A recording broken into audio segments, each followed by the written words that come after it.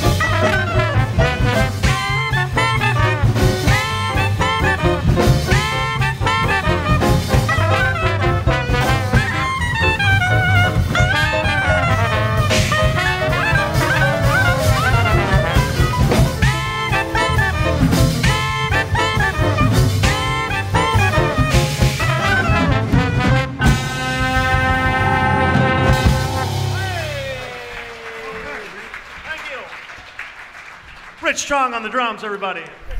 Thank you. Boilermaker Jazz Band. Let's hear it